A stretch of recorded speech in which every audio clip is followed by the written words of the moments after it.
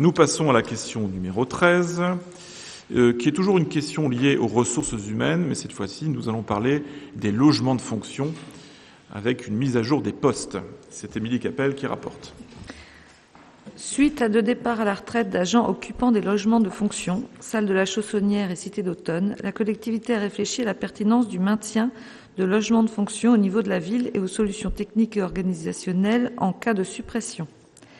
Le coût financier de ces logements, location pour le logement de la Chaussonnière, et les difficultés de gestion du temps de travail des agents conduisent à proposer de supprimer les logements de fonction de la ville présentés ci-dessous. vous avez un tableau. Des investissements techniques, exemple fermeture automatique et une réorganisation du travail des agents pourront permettre de pallier l'absence d'agents logés.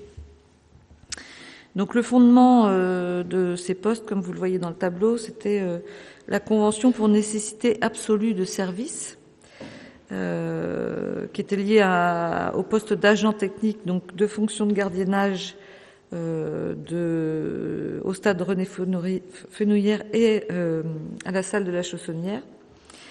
Donc euh, les motifs, c'était l'ouverture et fermeture des portes, surveillance et permanence pendant les entraînements, les matchs et toutes les manifestations organisées sur le stade, présence dans le cadre d'une mission de veille permanente des bâtiments et des équipements. pour la chaussonnière, c'était ouverture et fermeture des portes, présence dans le cadre d'une mission de veille permanente des bâtiments et des équipements. Voilà, donc les logements, euh, ensuite il y a les adresses, les surfaces et la valeur locative de référence au mètre carré. Il est donc proposé au conseil municipal, en accord avec la commission des finances, la suppression des logements de fonction du tableau ci-dessus. Merci. Y a-t-il des questions concernant ce point? Alors je tiens à rappeler bien évidemment que, la suppression de ces logements de fonction s'est fait d'un commun accord avec les personnes qui les occupaient. Hein, euh, euh, chacun des agents, alors soit pour des départs en retraite, hein, nous avons eu deux agents qui sont partis en retraite et donc nous avons euh, décidé de manière totalement transparente avec les services concernés de ne pas continuer à maintenir ces, logements de fonction.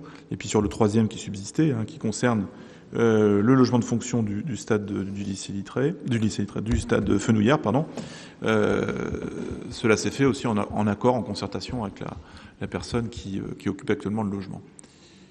Et les syndicats aussi. Enfin, le syndicat d'ailleurs, parce qu'il n'y a, qu'un seul syndicat, la ville d'Orange. Monsieur Morazin. Je, vois que vous réagissez au doigt levé que j'ai.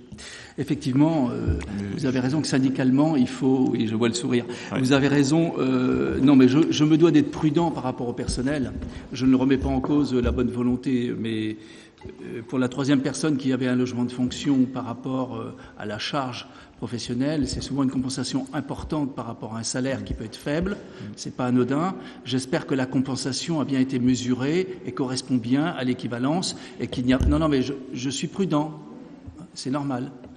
Je me dois aussi de défendre le personnel de la ville et je le fais. Oui, alors Madame Capel, vous apportez des éléments de réponse et le cas échéant, je le ferai aussi.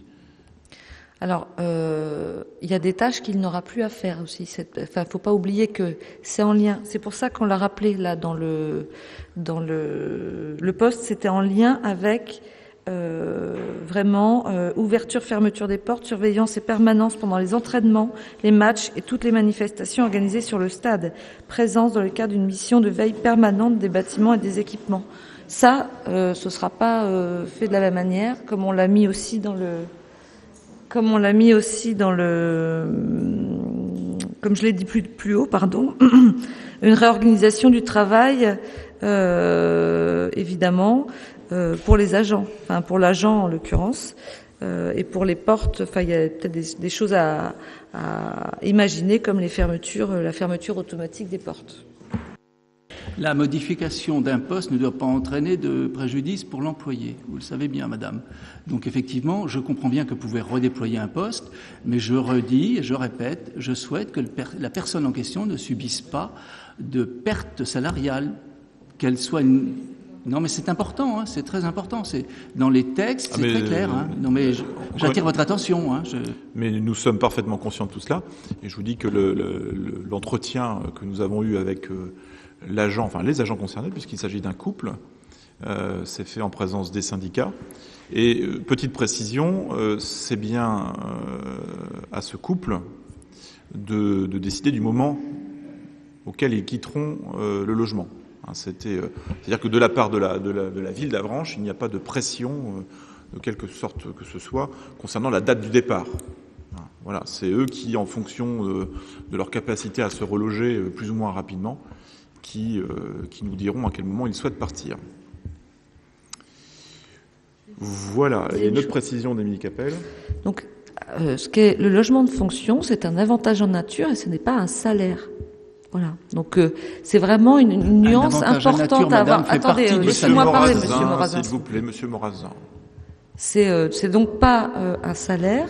Donc c'est à différencier. Ces deux choses doivent être différenciées entre le logement et le salaire. Je ne peux pas, Madame Capelle, vous laisser dire des choses comme ça. Je ne peux pas vous laisser dire ça. Oh, si vous pourriez, vous pourriez. Non, mais on, vous, précisera les choses si vous voulez. Euh. Mais c'est vrai qu'on a, y a eu un gros travail qui a été fait depuis deux ans sur la question des logements de fonction, puisque vous le savez, la loi a évolué dans ce domaine et nous oblige à, éteindre cette pratique qui est euh, traditionnelle dans beaucoup de collectivités. Donc ça nous permet aussi de solder une situation qui devenait euh, difficile à tenir d'un point de vue réglementaire. Hein, mais on pourra en reparler sans aucun souci.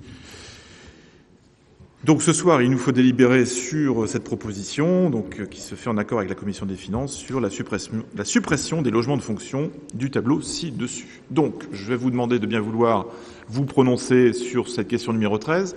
Y a-t-il parmi vous des, personnes qui souhaitent voter défavorablement cette proposition?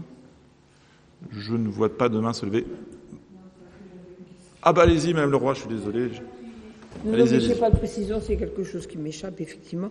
Euh, le, la maison là, qui est occupée par euh, le, gardien du stade René Fenouillère, s'il en part, s'il en part, pardon, elle sera, ça, nous appartient, cette maison-là? Donc euh, il faudra qu'elle soit louée. Alors, on, pour l'instant. Est-ce que lui peut la. Enfin, je sais pas, est-ce qu'il peut la louer? Enfin, Comment ça peut Alors, le, le, devenir de cet immeuble reste à, déterminer. à déterminer.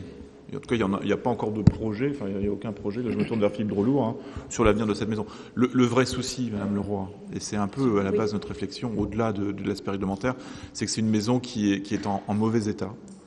Euh, qui euh, fait l'objet de remontées capillaires assez importantes qui génèrent un, inconfort aussi de la, euh, du couple qui nous l'a signalé à plusieurs reprises. Et si on voulait remettre cette maison dans un état parfait, cela nécessiterait des investissements, des investissements très importants pour la commune. Voilà. Monsieur Morazin. Je peux vous taquiner, c'est off pour la presse. Ah, vous, je suis pas sûr que ça marche. Hein.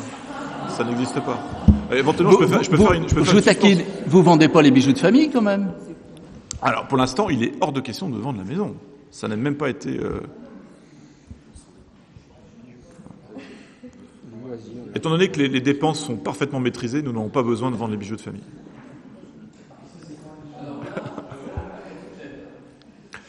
Bien, donc je, peux vous mettre aux voix si vous le voulez bien. Donc y a-t-il euh, des votes contre?